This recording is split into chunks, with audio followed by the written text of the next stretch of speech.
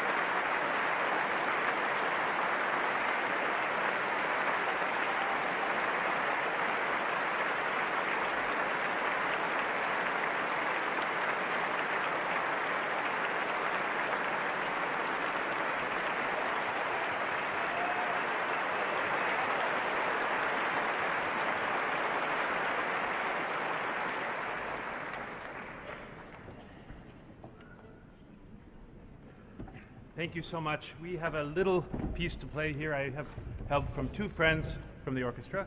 We, uh, we would like to play one of the miniature romantic pieces by Dvorak.